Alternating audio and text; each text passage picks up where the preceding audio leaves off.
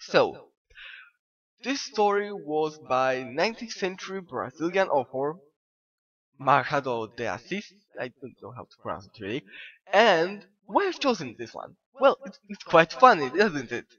It uh, on the surface looks as if uh, we had this um, ancient Greek man who is so so scared by dull and depressing way that we most likely dance and certainly the uh, dress by the Victorian era way of living.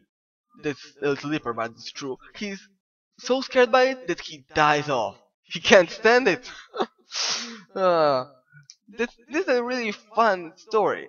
It's, well, as I said, amusing, and has some meaning for it. Was Victorian era too dull, sad, depressed, and uh, collected, serious, very, very orderly? Maybe, yeah, most likely, yes it was, absolutely was. And that's what makes this story fun. We've got Greek man to come here and say we are boring, dull, depressed. That's hilarious. I love it. I love it. I hope you also loved it. Well, I'm not sure if there will be place for another today.